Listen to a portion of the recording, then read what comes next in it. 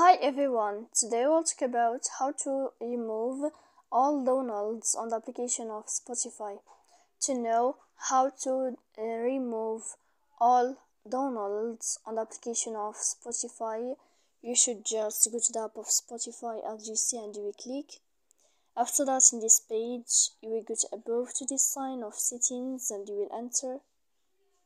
Then in this page, you will go down to search about the sign of remove all downloads and you click. When you click here, we click remove to remove all your downloads on the application of Spotify in this page.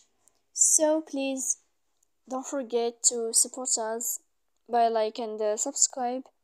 See you next time in another video and uh, thank you for your attention.